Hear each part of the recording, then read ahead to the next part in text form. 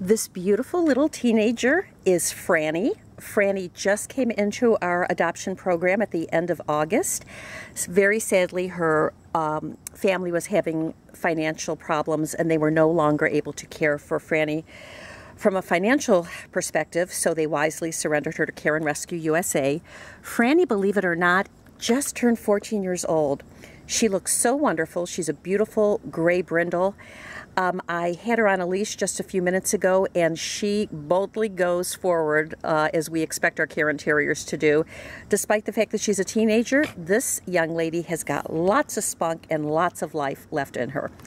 Um, Franny was previously in a home with two other Cairn Terriers. She gets along beautifully with other dogs. She is housebroken.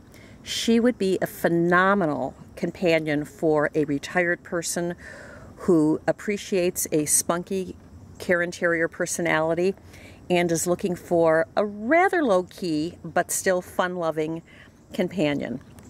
Um, Franny would do best in a home where somebody is home for the vast majority of the day. She's been used to that sort of lifestyle, and we would certainly hate to put her in a situation where somebody was going and leaving her alone all day. Franny gets along great with other dogs, as I think I mentioned, and we would really love to see her go to a home with at least one small other dog for companionship.